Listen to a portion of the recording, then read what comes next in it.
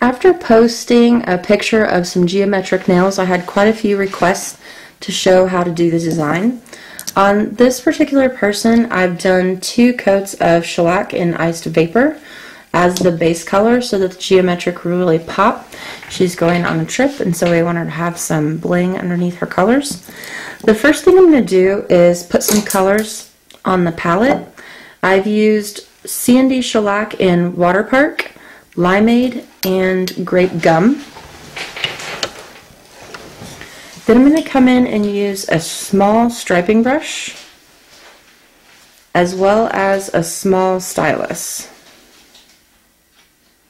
I'm going to begin by making the shapes before I make the lines. For the circle I like to use the stylus and you can mix up which color you use for which shape. I'm just going to set down a dot of the grape gum and then widen it out into a circle.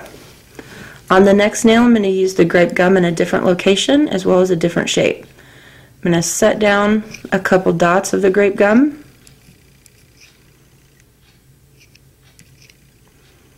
And then I'm going to manipulate it into a shape. On this nail, I would like it to be a square.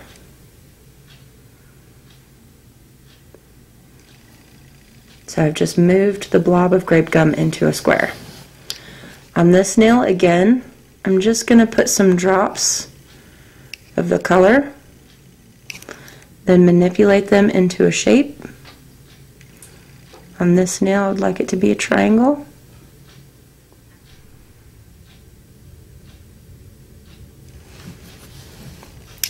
On this nail, I'm going to go with a rectangle.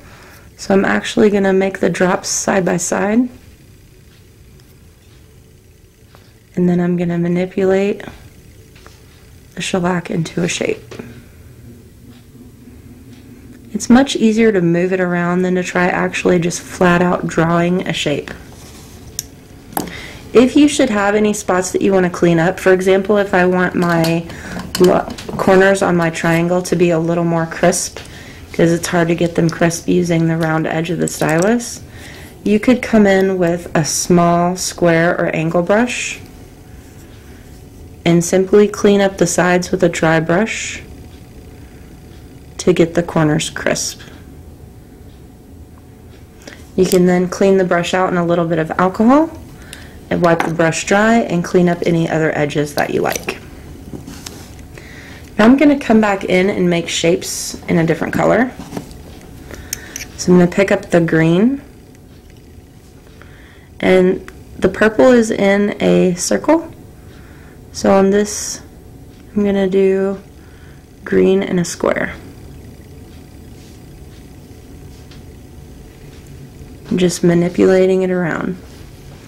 Here it's a square, so let's do a triangle.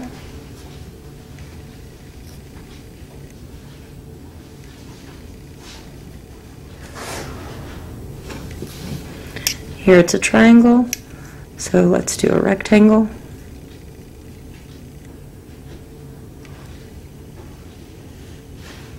Just manipulate it into place.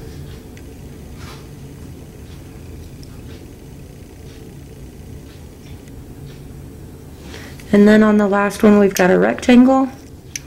Let's do a circle.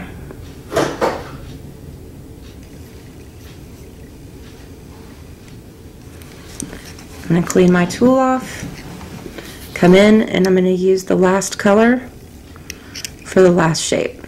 So here we have a circle and a square. So let's do a really tiny triangle.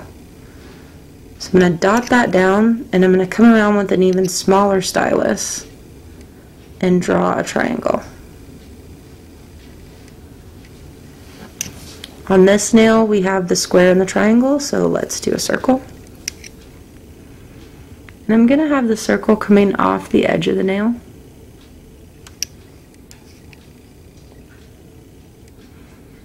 Again, you're kind of setting the shellac down and manipulating it. This helps you keep from getting it too thick.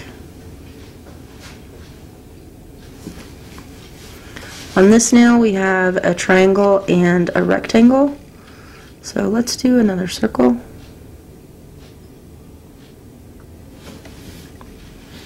On this nail we have a rectangle and a circle, so let's do a triangle.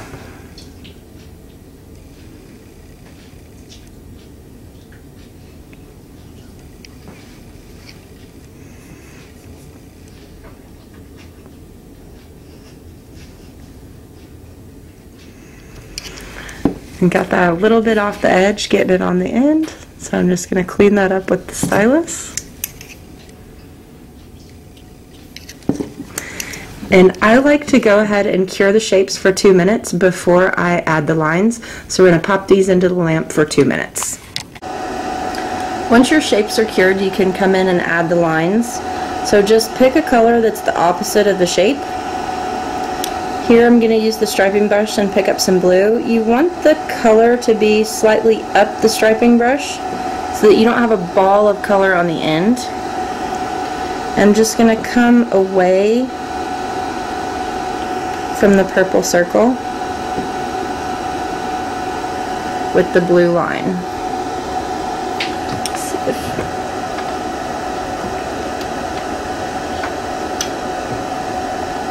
Hmm.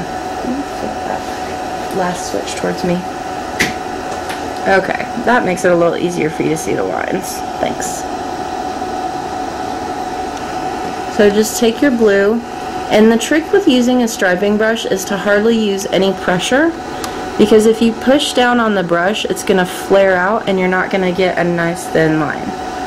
So that line is just coming towards the circle. Let me zoom in and see if you can see it a little better. The sparkle's kind of throwing your eye off, isn't it?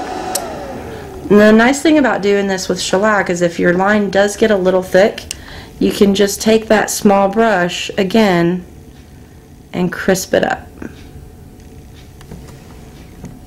So super easy. Then with the triangle, you can leave it alone or you can have a line come out of the top. And since the triangle line is going to pretty much intersect with the circle, I'm going to use the green and come up from the top center, stop at the circle, as if the circle were in front of the line and then come down from the top so that it's like the line went behind the circle and down into the triangle.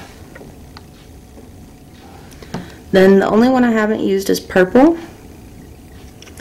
I'm going to bring the purple across to the top of the square.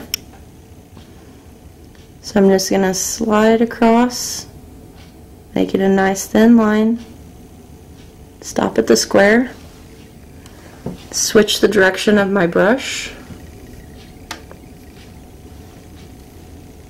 and come across to the square.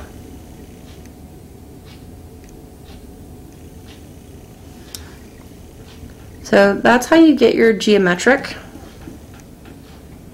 I'll do one more just in case that one was hard to see. On this one we've got the purple square Let's bring the blue line into the purple square. I'm going to load my brush. And you can come across or you can come up and down. I'm going to go across so that the blue line doesn't run into the blue square. Or the blue circle, I guess it is.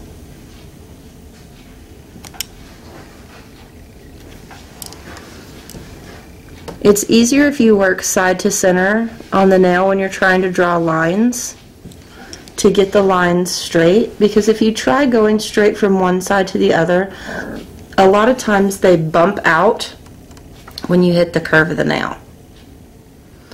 On this one, I want the line to go alongside the edge of the triangle. So I'm going to pick up some blue Oh no, I don't want blue. I want purple. I lied. I'm going to pick up some purple.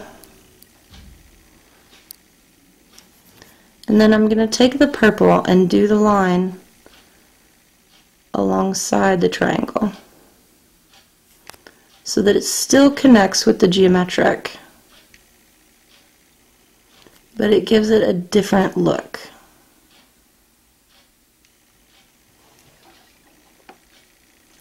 The trick when you're doing the geometric is just connecting the shapes with the lines in any manner. So it doesn't have to come at it a certain way.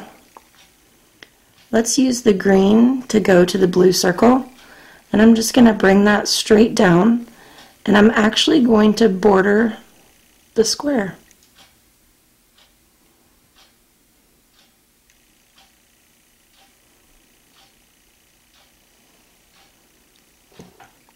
I'm just going to fill in up here where it didn't quite lay down. And remember, gentle pressure so your brush doesn't flare out. So hopefully you could see adding those lines a little bit easier. Once you have lines added to all of the nails connecting to the shapes, you're ready to top coat and cure. Look for a picture on my Facebook, just search fingernail fixer. Thanks and have some geometric fun!